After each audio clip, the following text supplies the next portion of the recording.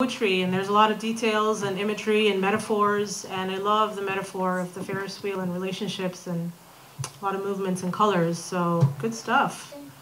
Um, who's up next?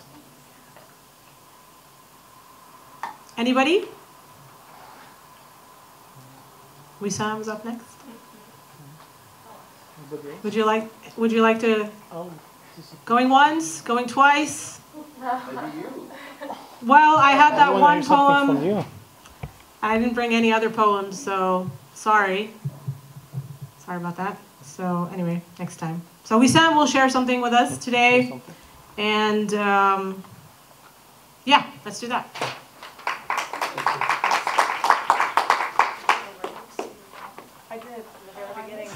Good evening, everyone. I'm going to share a couple short works with you.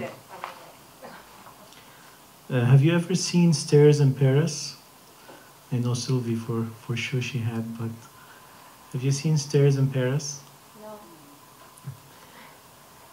Look them up. Uh, stairs in Paris. Oh, Paris, why do your stairs twist and turn in happy curves?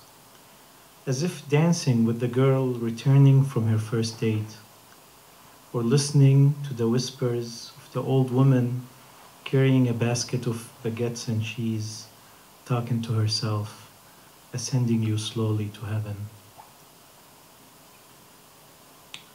That was inspired by actual stairs in Paris.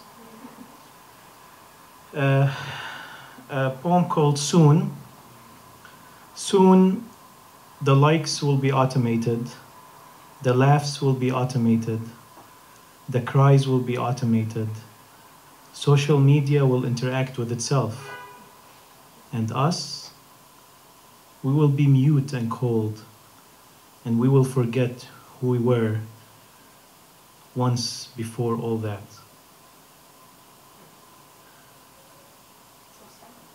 Sorry. Uh, my daughter's birthday was last week. Uh, I have a little uh, short uh, image poem for her. It's called Six Years Ago. Six years ago, my baby was four, and waves were too loud for her. Thank you.